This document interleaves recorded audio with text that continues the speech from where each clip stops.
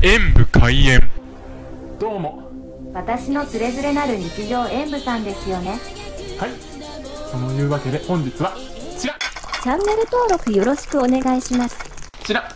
日本ハムの米粉でお米で作った食パンとお米で作った丸いパンを食べたいと思います。これアレルギーを配慮して作られたパンということなんですね。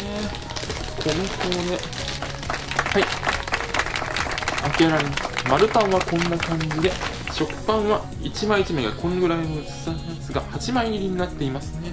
うん8枚切りだとちょっと厚さ物足りないかももっと種類あったらいいなでまこの中のの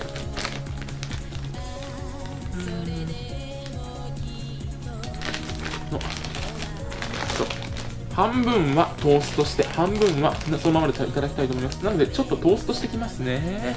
少しお待ちを。あトーストを焼いている間に通常版から食べていきましょう。まずはこちら丸いパンの方から食べていきます。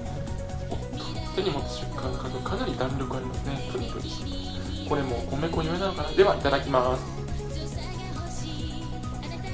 一つ訂正しておきます。丸パンは電子レンジの解凍を推奨してありました。自分は自然解凍やってパサつかなかったのですが自然解凍だとパサつく原因になるらしいのでご注意を。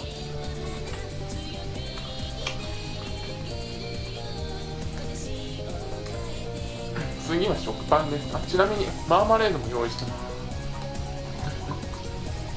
あ いただきます。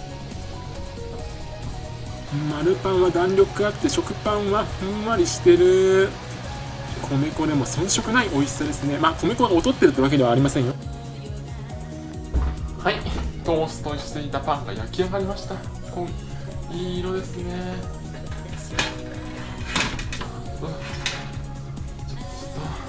滑り落ちてこないね。では滑り落ちて台無しになる前にいただきます。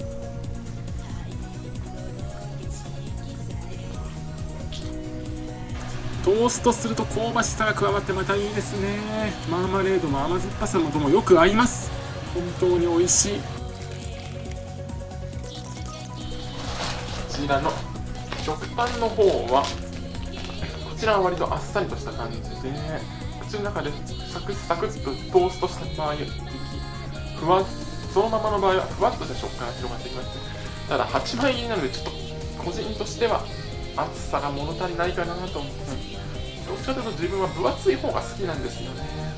なのでそうした種類ももうちょっとあった方がいいのかなとも思いました。なのでパンとしては美味しいのですがもっとバリエーションが欲しいということでこちらもこちらの点数とさせていただきます。というわけでお米で作った食パンとっても美味しかったお米で作ったというわけでお米で作ったパンとっても美味しかった食パンだけじゃなかったですお米がパンになる本当肺炎危険と言いますかそんな感じなんでこれで小麦アレルギーの方でも食べられるパンということです販売されてるということですがぜひその願いが届くように祈ってそれでは